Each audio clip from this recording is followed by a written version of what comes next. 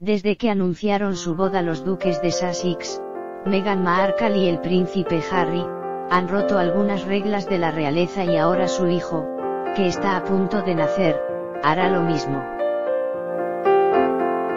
Aquí te contamos cuáles son las reglas de la realeza que el hijo de Meghan y Harry no cumplirá, no nacerá en Lindowing, el hospital St.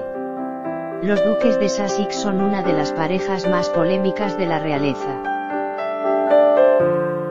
Merien Paddington, en la maternidad de Lindowing, fue el elegido por la princesa Diana y Kate Middleton para el nacimiento de sus hijos, y se esperaba que Meghan hiciera lo mismo, pero no será así.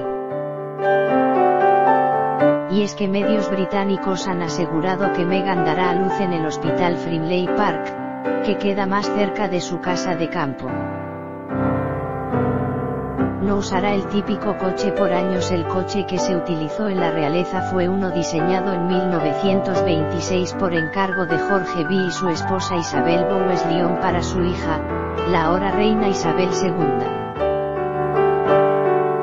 Pero, ahora el hijo de Meghan y Harry romperá con esa tradición, ya que los duques han elegido un coche de la famosa marca Icandi, que supera los 1.600 euros.